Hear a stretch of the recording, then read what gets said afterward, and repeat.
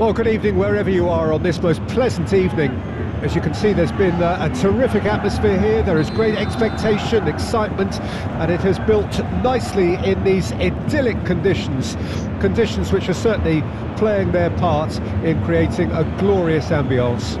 It's quite a struggle to get in here, points of access hard to come by, and an awful lot of people gathering to get through the gates, but regardless of that, there's a great feel here and much excitement for the game ahead.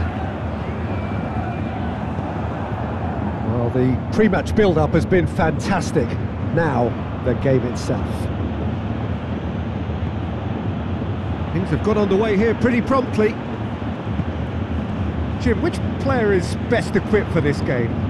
Well, I'll be fascinated to see how the manager instructs Lorenzo Pellegrini to operate in this game because you can see him playing very effectively as a, a number six, a number eight, or, or, a number 10, playing behind the striker. And he must be a nightmare to defend against with the way he's able to drift into wide areas and just keep everyone guessing. What a talent. Yes, he'd be my pick too. It's going to be all about how they get the best out of him. It's an inviting looking ball that.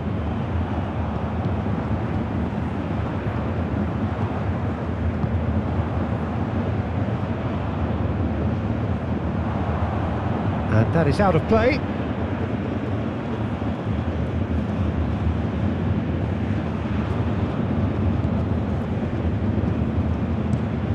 Gently done. Oh, can he get onto this?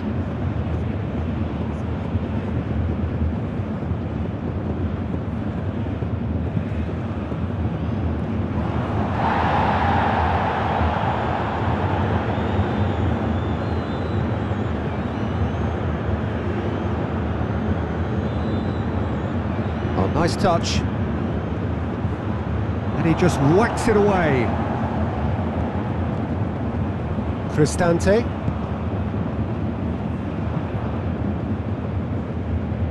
Di Lorenzo. To Pellegrini.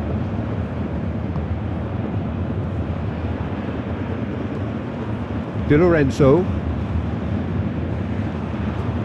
Pellegrini. Moved on forwards.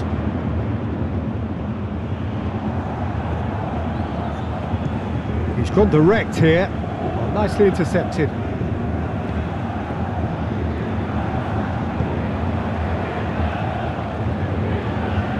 Passes short and sharp. Tries to get it clear. Cleared without complication. Barella. Chiesa.